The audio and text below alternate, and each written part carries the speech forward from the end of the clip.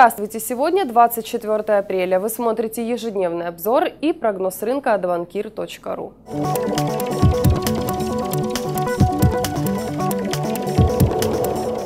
европейскую торговую сессию среды валютная пара евро-доллар снова пыталась штурмовать ключевое сопротивление – 1.3850.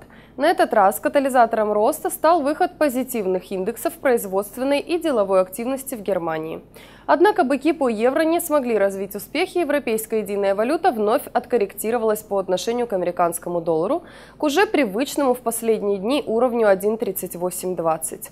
Вышедшие в начале американской сессии негативные относительно предполагавшихся данных о продажах недвижимости в США также не смогли поддержать евро, вызвав лишь незначительный всплеск котировок. Рынок сохраняет низкую ликвидность в ожидании основных новостей четверга.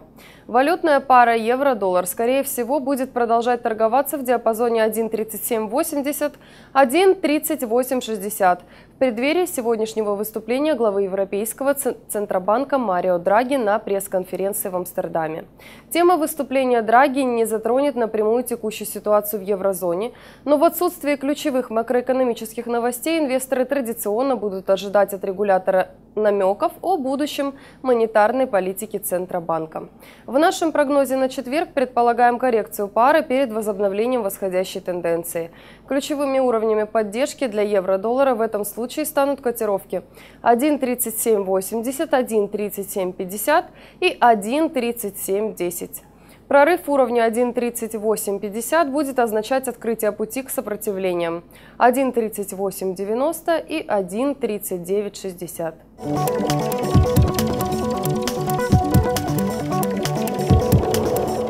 торгах в среду валютная пара фунт-доллар отступила от ключевого уровня сопротивления 1,6820. Опубликованные вчера протоколы заседания Комитета по кредитно-денежной политике Великобритании не смогли поддержать британский фунт. Несмотря на снижение дефицита торгового баланса и оптимистичные показатели по производственному сектору, члены комитета заявили о высоком уровне неопределенности, сопровождающем экономическое восстановление, а также о том, что повышение ставки английского Центробанка будет ограничено большой разницей в ставках по кредитам. Эти заявления вызвали падение курса британской валюты до уровня 1,6760, где пара нашла кратковременную поддержку. Несмотря на высокую перекупленность, фунт-доллар сохраняет потенциал роста к новым многолетним максимумам – около уровня 1,7040. Но краткосрочной целью пары вновь станет ключевой ценовой уровень 1,6820. Ближайшими уровнями поддержки являются 1,6730 и 1,6630, которые пара может протестировать прежде чем возобновить восходящую тенденцию. Они называют нас игроками. Они говорят, что мы зависим от удачи. Они утверждают, что никто не может обыграть рынок, и мы зря тратим свое время. Это не настоящая работа. Мы должны отказаться от нашего хобби, говорят они. Но если бы они только знали, что мы мастера риска, суть предпринимательского духа, ликвидность экономики. Мы всегда добиваемся своего, зарабатываем своим умом, приспосабливаемся к постоянно меняющимся джунглям финансового рынка. Мы торгуем валютой, которой вы расплачиваетесь в магазинах. Мы торгуем компаниями, в которых вы работаете каждый день. Мы торгуем золотом, которое блестит на ваших часах. В то время как вы боитесь неудач, мы учимся на наших ошибках. Мы не боимся потерь. Мы не боимся говорить о наших потерях. Мы встаем на ноги после наших потерь. В эти моменты мы становимся сильнее. Дисциплина и самоконтроль – наши партнеры. Мы те, кем вы всегда хотели стать. И мы выходим из тени. Мы – трейдеры.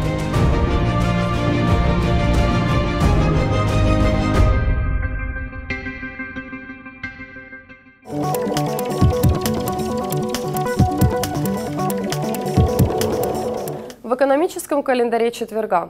Швейцария сообщит итоговое сальдо внешней торговли за март, включая объемы экспорта и импорта товаров. Германия представит апрельские данные по условиям деловой среды, оценки текущей ситуации и экономических ожиданий от Института экономических исследований в Мюнхене. Великобритания опубликует данные по динамике розничных продаж за апрель от Конфедерации британских промышленников. А в статистике из США выйдут еженедельные данные по количеству первичных обращений и повторных заявок за пособиями по безработице, а также изменение объема заказов на товары длительного пользования за март. Кроме того, в этот же день состоится выступление президента Европейского центрального банка Марио Драги. Более подробную информацию по движению валют на рынке смотрите на сайте maximarkets.ru. Желаем вам удачных и прибыльных торгов на рынке Форекс. Thank you.